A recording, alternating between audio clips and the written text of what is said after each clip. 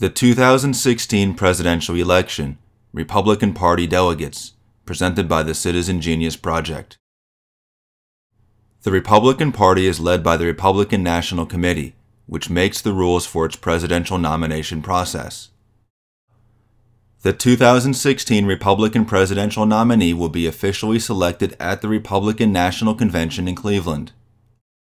There will be a total of 2,472 delegates at the convention who select the party's nominee for president. This person needs to win support from a majority of the delegates, which is at least 1,237 delegates.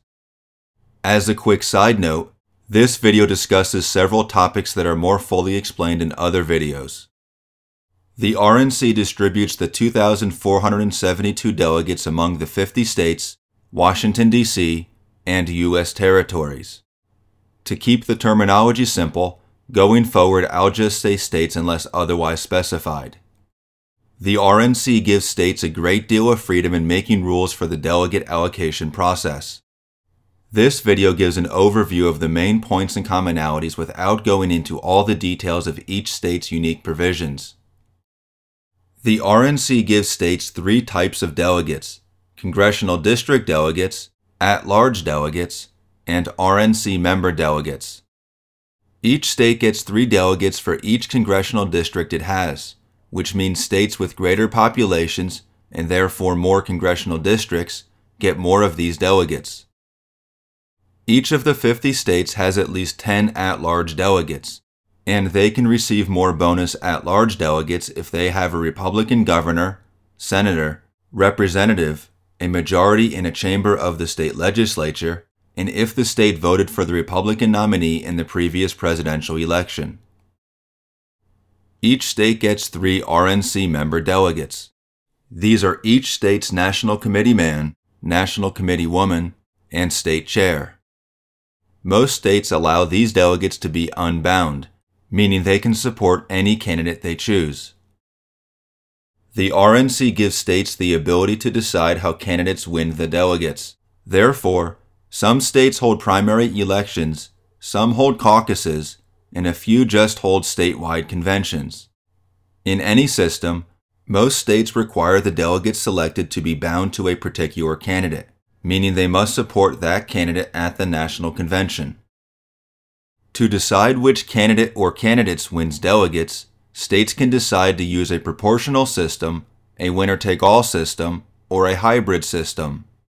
In a proportional system, each candidate receives a portion of a state's delegates based on the percentage support he or she receives in the state's primary election, caucuses, or convention.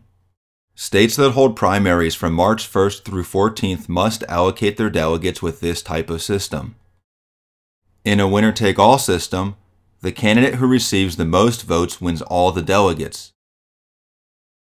There are numerous hybrid systems that include variations of the proportional and winner take all systems. I'll give just two examples. A state may use a proportional system with a trigger, meaning the delegate allocation will change from a proportional to a winner take all system if a candidate receives a majority of votes. Or a state may use a winner take all system such that candidates can win congressional district delegates based on the results in each congressional district, while the at large delegates and even RNC member delegates are allocated based on the statewide results.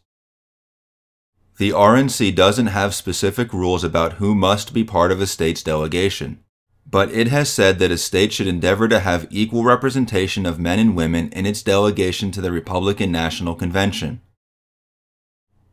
In short, people in each state participate in primary elections, caucuses, and conventions to select most of the delegates. Then those delegates and the unbound RNC member delegates go to the Republican National Convention and select the party's nominee.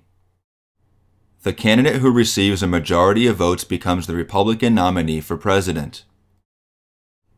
If no candidate receives a majority, the delegates become unbound and therefore free to vote for any candidate. The delegates continue voting and negotiating until a candidate receives a majority. After the Republican Party's presidential candidate is chosen, he or she moves on to the general election.